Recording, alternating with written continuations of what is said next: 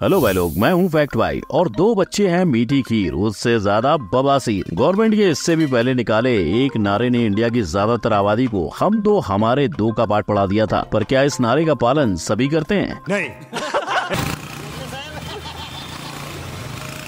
Well अगर बाकी धर्मों पर नज़र डालें तो तेज़ी से बढ़ती उनकी आबादी को देख सवाल यही उठता है कि क्या हिंदुत्व का नामो निशान मिटने जा रहा है? और ये सवाल न सिर्फ़ फर्टिलिटी की वजह से पर व्हाट्सएप की वजह से भी उठ रहा है जहाँ रितेश देशमुख और आमिर खान जैसे एक्टर्स के पोस्ट लोगों को उकसाते हैं। और इसमें पॉलिटिक्स ने भी अयोध्या की पावन मिट्टी पर इंडिया का सबसे बड़ा मस्जिद निर्माण करने का फैसला ले लिया है। से खूबसूरत अगर कोई चीज़ होगी वो मस्जिद मोहम्मद बिन अब्दुल्ला यानी हर तरफ़ से हिंदू कटघरे में गिर चुके हैं तो क्या हिंदू राष्ट्र बनाने का सपना सपना सपना ही रह जाएगा। हिंदू राष्ट्र घोषित होने वाला है। आशा करते हैं कि आपको इन सारे सवालों का जवाब वीडियो पूरा होने तक मिल जाएगा। तो आइए बिना किसी देरी हिंदू के विलुप्त होने की वजहों पर रोशनी डालते हैं। नंबर वन घटा आंकड़ा। 2050 तक हिंदू की जनसंख्या 2.8 प्रतिशत से कम हो जाएगी। भले ये 2.8 प्रतिशत छोटा नज़र आता है पर भविष्य में ये आंकड़ा आपको सोचने पर मजबूर कर देगा। वहीं 2050 के मुस्लिम भाइयों की बात करें तो वो आंकड़ा ज़्यादा दिखाई देगा। यानी हिंदू के मुकाबले डबल। इनफैक्ट दुनिया में ही नहीं, हिंदू इंडिया में भी कम होते जा रहे हैं, क्योंकि इंडिपेंडेंस के वक्त भारत में कुल चौरासी प्रतिशत हिंदू रहते थे। और अगर उससे पहले की बात करें तो हिंदू दुनिया के कई कोनों में बसा करते थे। लेकिन अब न सिर्फ़ वहाँ, पर खुद अपने ही देश में हिंदू आबादी को खतरा है, जहाँ 2015 में ऐसा पहली बार हुआ कि हिंदुओं की संख्या 80 प्रतिशत के नीचे चली गई। मतलब भाई लोग, ऐसा ही चलता रहा तो ये आंकड़ा 40-50 प्रतिशत पर आने में बस कुछ और साल लगेंगे। नंबर टू, खुद की पिटाई। अगर मैं कहूँ की भारत को बाकी धर्मों से नहीं, हिंदू से ही खतरा है। तो ये फैक्ट भाई नहीं, कई लोगों का मानना है, क्योंकि जहाँ हिंदू आज राम जन्मभूमि पर मंदिर बनाने पर उतावले हो रहे हैं, वहीं उससे थोड़ी दूर इंडिया की सबसे बड़ी मस्जिद का निर्माण हो रहा है, और इसके काम की शुरुआत करने के लिए इमाम काबा पहला पत्थर रखने वाले हैं। इतना ही नहीं, इस मस्जिद में दुनिया की सबसे बड़े कुरान का निर्माण भी होने जा रहा है। ऐसी न्यूज़ से लोगों का विरोध अंदर से बढ़ता जा रहा है, और भाई लोग, जहाँ लोगों का ध्यान इन न्यूज़ से भटक रहा है, वही कई एक्टर्स भी सामने आते हैं, जिन्हें हिंदू फेस्टिवल से तकलीफ़ है, जैसे आमिर खान, प्रियंका चोपड़ा और रितेश देशमुख। इन एक्टर्स की वजह से लोगों ने दिवाली बिना पटाखों से मनाना सीख लिया। लेकिन उन्हें छोड़, बाकी कई सितारे हिंदू त्योहारों को शान से मनाते हैं। इसके साथ साथ कई बार स्टैंड अप कॉमेडी के नाम पर भी हिंदू धर्म को नीचे दिखाया गया है। लेकिन, इस पर भड़कने के बाद, उन्हें ही सोशल मीडिया पर भला बुरा बोला गया। नंबर थ्री बदल तो नहीं जाओगे। ये थी वैशाली शेट्टी, जिनका कहना था कि इस्लाम अपनाने से पहले इनके माता पिता ने इन्हें संभाल लिया। पर दूसरी तरफ़, विश्व परिषद के नेशनल जनरल सेक्रेटरी वाई रगाबुलू है, जिन्होंने 2016 में ये दावा किया था कि हर साल आठ लाख हिंदू अपना धर्म बदलते हैं। कुछ सनातन धर्म छोड़कर इस्लाम अपनाते हैं तो कुछ क्रिश्चियनिटी हिंदू धर्म के बाद ये इंडिया के दूसरे और तीसरे सबसे बड़े धर्म है, और ये धर्म सिर्फ़ इंडिया में ही नहीं, दुनिया भर में इसी तरह कन्वर्जन कर रहे हैं। प्योर रिसर्च रिपोर्ट की माने तो अगले चार दशक तक क्रिश्चियनिटी दुनिया का सबसे बड़ा धर्म होगा।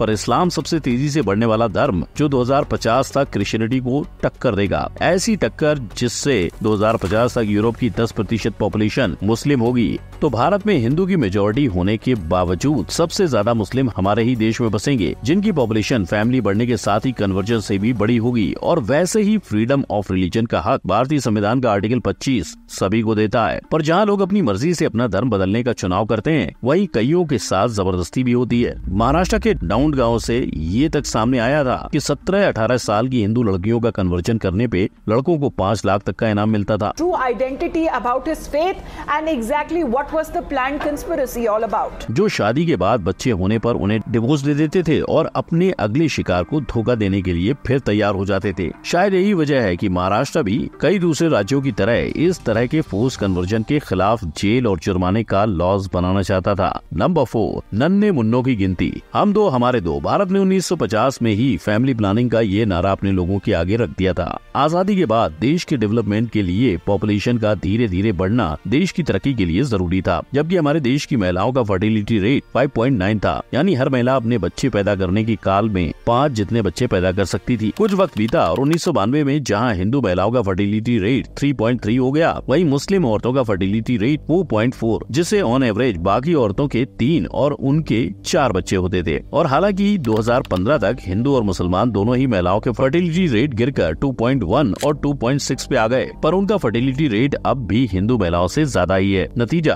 हर तरफ़ ये बातें पहले लगी कि आगे चलकर भारत से हिंदू खत्म हो जाएँगे और हर जगह आपको बाकी दूसरे धर्म के लोग मिलेंगे। पर अगर आप ध्यान से ये आंकड़े देखेंगे तो आपको हिंदू महिलाओं के मुकाबले में मुस्लिम महिलाओं के फर्टिलिटी रेट का गिराव ज़्यादा नज़र आएगा। मतलब भले ही उनकी गिनती ज़्यादा हो, पर बड़ा डिक्लाइन भी उन्हीं की फर्टिलिटी रेट में है। बावजूद इसके, कई लोगों ने इस सच को आधा बताकर इसका फ़ायदा उठाने, साथ ही हिंदू और हिंदुस्तान को बचाने के लिए हर परिवार को दो से ज़्यादा बच्चे पैदा करने की नसीहत दी। Number five Dunki to India. जैसे इंडियंस डंकी मार के विलायत जाते हैं, क्या वैसे ही दूसरे कंट्री के लोग इंडिया आते हैं? वे लोग आते हैं, खाते हैं, घूमते हैं और फिर यहीं सो जाते हैं। और अगर 2010 की रिपोर्ट की माने तो कई देश के मिलाकर चार लाख से भी ज़्यादा लोग इंडिया में अपनी ज़िंदगी एक रिफ्यूजी बनकर गुजार रहे हैं। हालाँकि इस चीज़ से हिंदुस्तान 2010 से नहीं, उन्नीस यानी पार्टीशन के समय से जूझ रहा है। वो भी इसलिए क्योंकि इंडिया एक मल्टी रिलीजन कंट्री है, जिसकी वजह से जब श्रीलंका में सिविल वॉर हुआ, तब वहाँ के कई तमिल लोगों ने इंडिया आने का फैसला लिया। और ऐसा ही हाल म्यांमार के लोगों को भी झेलना पड़ा था, जिससे वो इंडिया आ गए। लेकिन ऐसा नहीं कि उस समय इंडिया की सरकार ने इसे रोकना नहीं चाहा, पर इंडिया में आने वाले लोगों की तादाद इतनी ज़्यादा थी कि इसके आगे सरकार भी चकमा खा गई। और देखते ही देखते म्यांमार और श्रीलंका से इंडिया के लिए तोहफे में बुद्धिज्म आया। इसके अलावा आज भारत में मुस्लिम कंट्री के भी कई इमिग्रेंट्स गुजारा कर रहे हैं, जहाँ आज भी ये इंडिया के लिए एक सरदर्द है। वही सरकार ने इसके हल के तौर पर एक लॉ निकाला है। इसमें लिखा था कि सिटीजनशिप अमेंडमेंट एक्ट के तहत बांग्लादेश पाकिस्तान, अफ़गानिस्तान के हिंदू, क्रिश्चियन, जैन, पारसी, सिख या बुद्धिस्ट को ही हिंदुस्तान पना दे सकता है। मतलब साफ़ है कि अब इंडिया में दूसरे धर्मों का ज़्यादा प्रचार सरकार बर्दाश्त नहीं करने वाली, लेकिन फिर भी 2022 की रिपोर्ट में म्यांमार के रोहिंग्या रिफ्यूजी की संख्या चालीस हज़ार बताई जा रही है। नंबर सिक्स, पढ़ोगे, लिखोगे, बनोगे नवाब। आज दुनिया इतनी आगे निकल चुकी है की जब तक आपके पास चार डिग्रियाँ न हो, आपको इंटरव्यू के लिए नहीं बुलाया जाता। पर हैरान करने वाली बात यह है कि लगभग 50 परसेंट मुस्लिम 2016 तक पढ़ाई से दूर ही थे इसके मुकाबले बाकी धर्मों की लिटरेसी का आंकड़ा काफ़ी कम था। और थ्री इडियट्स का डायलॉग तो आपको याद ही होगा। नो डिग्री नो नौकरी, यानी सीधे सीधे गरीबी। और जहाँ मुस्लिम में उनका ना पढ़ना, उनकी पॉपुलेशन की समस्या को बढ़ा रहा है, उन्हें ये समझने नहीं दे रहा की परिवार में कम लोग होंगे तो कम खर्चा और ज़्यादा सुविधाएँ होगी। दूसरी तरफ़ ज़्यादा लोग होने से खर्चा भी बढ़ेगा और सुविधाएँ भी घटेंगी। वही लिटरेसी का सबसे बड़ा हरजाना दूसरे समुदाय भर रहे हैं, जैसे हिंदू, जिन्हें नौकरी और बेहतर ज़िंदगी का सपना दिखाकर उनका धर्म परिवर्तन करते हैं। साथ ही इंडिया के कास्ट सिस्टम के चलते भी कई लोग ज़्यादा अपॉर्चुनिटी मिलने के लिए क्रिश्चियनिटी और इस्लाम जैसे धर्मों को अपनाते हैं। और भाई लोग, जहाँ फैक्ट भाई ने आपके सामने सारी वजह रख दी है तो आपके मुताबिक क्यों हिंदुओं की जनसंख्या इंडिया से विलुप्त हो रही है? और क्या ऐसे व्हाट्सएप फॉरवर्ड्स पर भरोसा रखना चाहिए, जहाँ कहा जाता है की इंडिया में सौ सालों के बाद मुस्लिम की आबादी ज़्यादा होगी? क्योंकि अगर वर्ल्ड पॉपुलेशन रिव्यू के डेटा को देखें तो भाई लोग, हिंदू को छोड़ बाकी किसी का भी मेजोरिटी में आना मुश्किल होगा। और वैसे भी, ये भारत देश हमेशा से ही हर धर्म को साथ लेकर चला है तो इन सारी बातों और अफवाहों पर ज़्यादा ध्यान न दें। पर चाहे हिंदुत्व को ही नहीं, लेकिन हिंदुत्व की भावना को ज़रूर ठेस पहुँची है। वो भी पाकिस्तान की कुछ मूवीज़ की वजह से, जिसमें इंडिया की बुराई, भगवान का अपमान और कई बेतुके आरोप हैं। तो फ़ौरन आई बटन पर क्लिक करके उनके बारे में जानो। वीडियो अच्छी लगी हो तो लाइक, कमेंट, शेयर और सब्सक्राइब ज़रूर करें। मिलते हैं अगली वीडियो में। जय हिंद।